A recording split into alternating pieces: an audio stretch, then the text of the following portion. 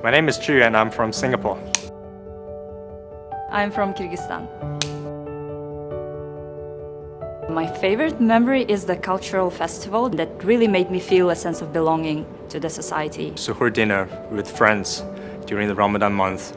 So the thing I would miss the most here is the friendship I made along the way. The campus. I like its location. It's not too much crowded here. It's clean. Everything is nearby. Prior to joining MBZUAI, I'd never imagined publishing a research work at the top class computer vision conferences. But it's an amazing feeling and we have achieved it. MBZUAI has prepared me to search for my own answers instead of like waiting for the answers to be given to me. Professor Salman Khan, it helped me to learn more about how research works and how to solve a problem and how to find a good solution. Thank you so much.